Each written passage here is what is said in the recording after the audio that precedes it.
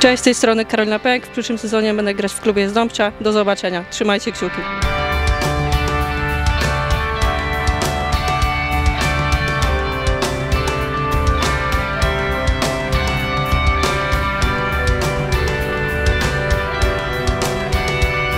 Głównym powodem e, mojego wyboru e, była przede wszystkim dobra organizacja i dobra opinia od wszystkich e, zawodników i trenerów e, z Polski, z naszego, z naszego społeczeństwa tenisowego, że po prostu Dąbcze, klub Dąbcze jest na dobrym poziomie, na dobrym poziomie organizacyjnym i to był właśnie główny powód.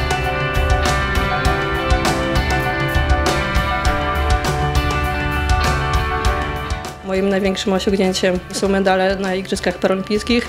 Do tej pory jest ich pięć, trzy brązowe i dwa złote medale na Mistrzostwach Europy i Świata.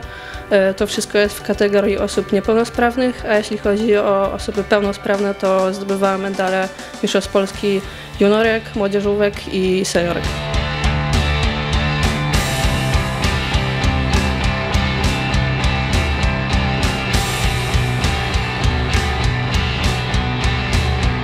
Naszym celem jakby drużynowym na przyszły sezon będzie jak najwyższa lokata e, w pierwszej lidze, a mój cel indywidualny to będzie jak najwięcej zwycięstw, e, żeby pomóc drużynie.